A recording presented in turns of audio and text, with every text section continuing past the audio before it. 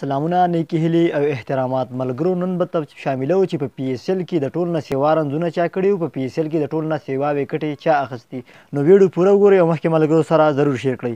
بابر اعظم په ټاپ دی الریډی کینګ بابر اعظم جوړ کړی دی 498 رنځونه په نه اننګونو کی 498 رنځونه جوړ کړی محمد رضوان 10 اننګونو کی 366 عثمان خان وینډرډوسن دی خو وینډرډوسن د ریال مډرید ټیم بار شوی دی لاهور قلندر نو هغه په دې وجه باندې یادو عثمان خان چې کوم دی هغه پنځه اننګونو کې 337 سعود شکیل نو اننګونو کې 323 کولن منرو نه اننګونو کې 309 رنزونه اوس راځي چې ټول نسیبا وکټ چې اخستې دي اسامه امیر په ټاپ دی لس میچونو کې 21 وکټې محمد علي لس میچونو کې 19 وکټې ابرار احمد نه میچونو کې 15 وکټې حسن علي لس میچونو کې 14 وکټې